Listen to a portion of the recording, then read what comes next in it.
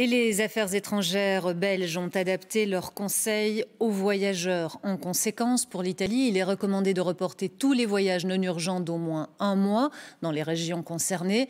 Pour le reste de l'Italie, pas de recommandation particulière, si ce n'est pour les voyages scolaires.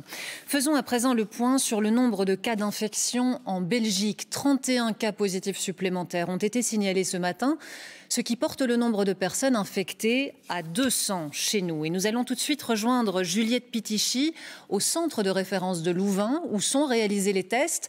Alors 31 nouveaux cas annoncés, c'est la moitié d'hier. Est-ce qu'il y a des conclusions à en tirer, Juliette? C'est vrai que ce chiffre, il peut paraître euh, étonnant, mais il peut être expliqué par trois facteurs. Il y a tout d'abord le fait que nous sommes en plein week-end, c'est donc plus calme. Le laboratoire reçoit euh, moins euh, d'échantillons. Les, chiffres sont donc moins impressionnants. Deuxième facteur, eh bien, c'est cette vague de retour de vacances de carnaval, notamment depuis le nord de l'Italie, qui se termine peu à peu. Et puis enfin, on en parlait ce week-end. Ici, au laboratoire de référence, on a préféré marcher par la priorité. On analyse avant tout les échantillons les plus urgents il reste donc toute une partie d'échantillons, les, échantillons euh, non prioritaires euh, qui ne sont pas traités, mais on ignore euh, combien d'échantillons cela concerne pour l'instant. Est-ce qu'en n'analysant pas directement tous les échantillons, on ne prend pas un risque, Juliette?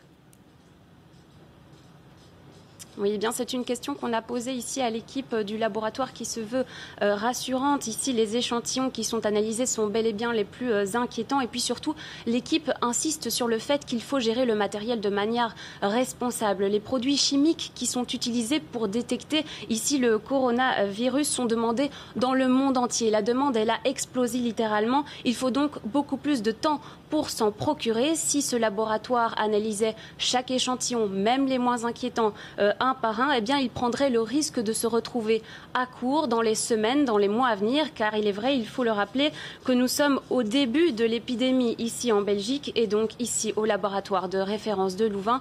On a préféré jouer la carte de la prudence. Merci Juliette.